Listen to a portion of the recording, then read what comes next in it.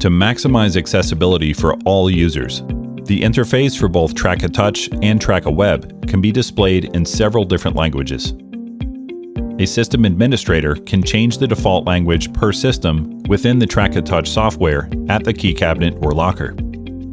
The selection will be the default language displayed for all users accessing the system. The language can be changed temporarily for a single login when a user approaches the system. By pressing the language button just above the keypad, the user can select from all available languages. The system will then display all messages, buttons, and menus in their preferred language for the remainder of the transaction. Upon logging out of the system, the default language is then restored for the next user. The system language can also change dynamically upon login, based on each user's preference. An administrator can edit the user's profile at the touch system or in TrakaWEB and select their desired language.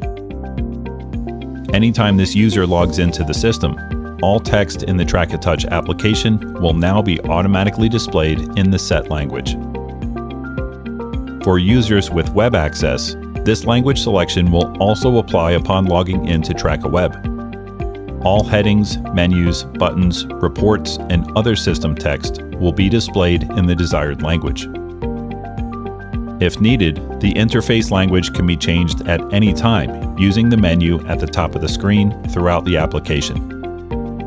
The language setting options offer an intuitive experience for every user, at every Traka system, all across the globe. Learn more at Traka.com.